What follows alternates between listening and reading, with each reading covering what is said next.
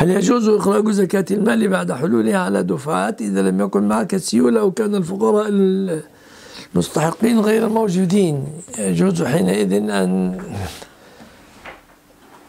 يجوز حينئذ ما ذكرت.